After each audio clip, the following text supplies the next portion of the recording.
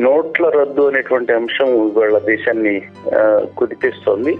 So మొదటి దెబ్బ నల్ల కుబేర్లు కానీ ఎవరైతే అనుకుంటున్నారో వాళ్ళకి తగలాల్సింది పోయి వాళ్ళకి సామాన్యులకు తగిలిందా అనేటువంటి భావన కలుగుతుంది. అయితే ఒకవేళ నల్ల కుబేర్లకు తగిలినా కూడా తేలికుట్టిన దొంగల్లాగా ఉన్నారా అనేటువంటిది కూడా ఒక అంశం మధ్య మధ్యలో ఎకానమీకి ఇలాగ పెద్ద నోట్లను ఉపసంహరించుకోవడం అనేది ఆర్థిక వ్యవస్థకి చాలా మంచి అంశమే అయినప్పటికీ కూడా తీసేటువంటి పద్ధతి కూడా ఒక చాలా కీలకమైంది. అంటే పంతొమ్మిది వందల డెబ్బై ఎనిమిదిలో ఈ పెద్ద నోట్లని విత్డ్రా చేసినప్పుడు అప్పుడు ఉండేటువంటి పరిస్థితికి ఇప్పుడు ఉండేటువంటి పరిస్థితికి చాలా తేడా ఉంది. అప్పట్లో ఆ నోట్లని సాధారణమైనటువంటి పౌరులు అంటే మధ్యతరగతి వాళ్ళు ఇప్పుడు కూడా వాటిని కళ్ళ చూసిన పాపం లేదు. వేళ ఎనభై ఆరు శాతం చలామణిలో ఉన్నటువంటి డబ్బులు ఐదు వందల రూపాయల నోట్లు వెయ్యి రూపాయల నోట్లు ఉన్నాయంటే ప్రతి వ్యక్తికి కూలి దగ్గర నుంచి సంపన్నుడు వరకు కూడా ప్రతి ఒక్కరూ కూడా ఈ నోట్లను ఉపయోగించే సందర్భంలో అర్ధరాత్రి నుంచే డిమానిటైజ్ చేశాము అనేటువంటి ప్రకటన శరాఘాతం లాగా అందరికీ అనిపించింది. పైకొచ్చి నా దగ్గర ఉన్నటువంటి డబ్బుని నా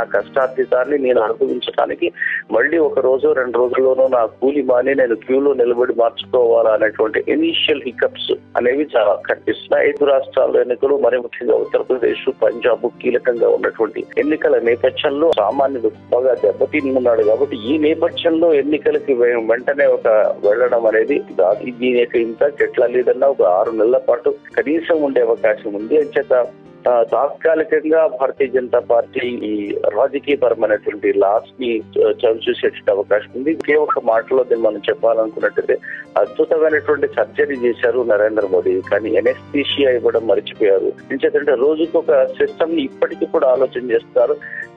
నోట్లు మార్చుకున్నటువంటి వాళ్ళకి వేలు మీద చుక్క పెట్టాలనేటువంటి ఆలోచన నిన్న చేసింది. ముందు చ- రద్దు చేసేస్తామని అనుకునే దాని పరిణామాలని పూర్తిగా అంచనా వేయకుండా ఒక లబ్ధి నాశనం చేశారనేటువంటి వాదనకి ఊతమిచ్చే విధంగా ఉంది. మొత్తానికి భారతీయ జనతా పార్టీ తాత్కాలికమైన నష్టాన్ని చవి చూడాల్సింది